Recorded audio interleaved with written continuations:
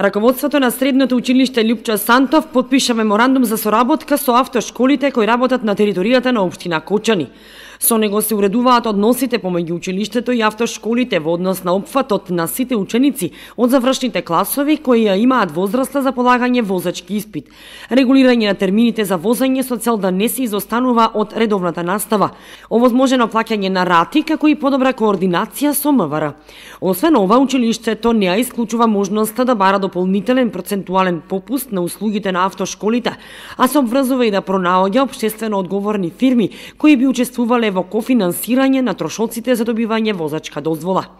Меморандумот за соработка овозможува неколку работи. Пред се како училиште, ние сме заинтересирани нашите ученици како финален производ да добијат со навршување на 17,5 годишна возраст да добијат возачка дозвола од Б категорија. Зошто е тоа така? За да се подигне степенот на собрекјаната култура во нашиот град, а и во последно време при огласувањето за вработување како неминовна како неминовна потреба се појавува познавањето на на возењето, односно поседувањето на возачка дозвола.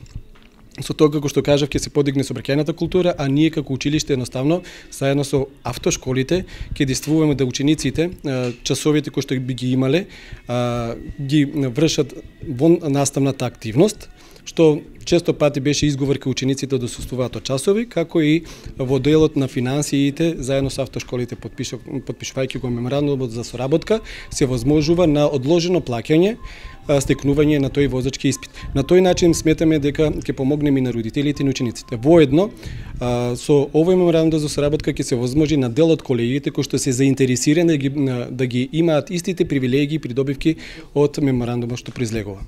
Согласно потребите во заедничка координација со педагошко-психолошката и дефектолошка служба на училиштето, секоја автошкола, подписник на меморандумот, може да организира информативен состанок со учениците поврзан со условите и начинот на полагање на возачки испит, како и тековни информации поврзани со тоа.